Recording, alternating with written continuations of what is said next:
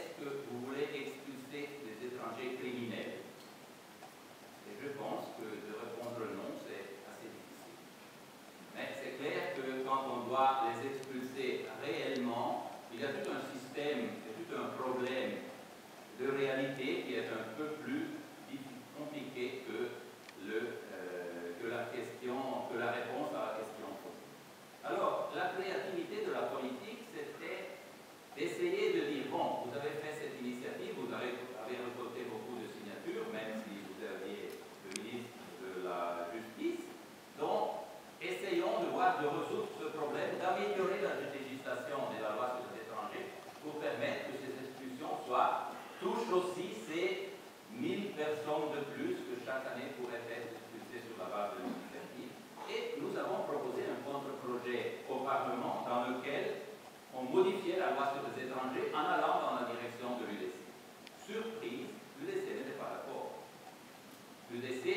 pas résoudre le problème euh, de l'expulsion des étrangers. Voulait une votation populaire pour organiser des manifestations comme celle-ci et rendre sa capacité d'affronter le problème des étrangers, au moins de thématiser les problèmes qui touchent aux étrangers qui sont en Suisse, mais seulement aux 1000 étrangers dont on parle et pas aux 2 millions qui sont plus ou moins qui habitent en Suisse et on n'a pas pu obtenir une majorité sur ce contre-projet qui modifiait la loi sur les étrangers, car l'UDC n'était pas d'accord, et les socialistes aussi. Et donc, je l'ai aussi avec les socialistes, il n'y avait pas de majorité pour un contre-projet. Et alors, la fantaisie et la créativité a fait penser que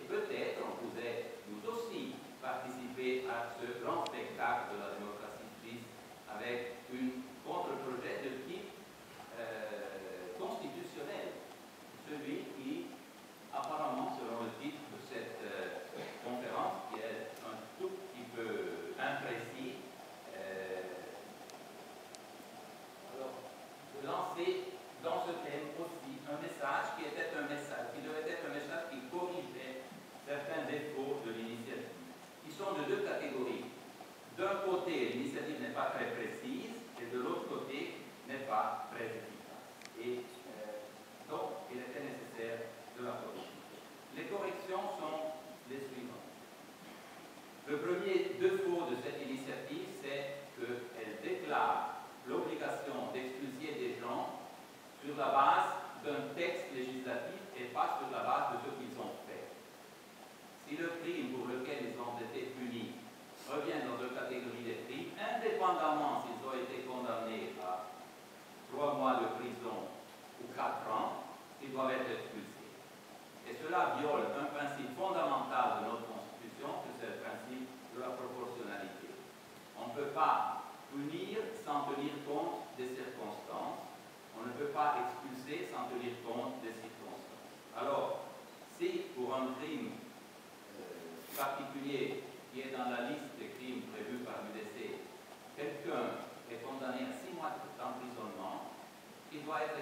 car la loi l'initiative prévue par M. Rocher et les initiativistes ne permet pas d'alternative. Le contre-projet vous donne des, des minimales.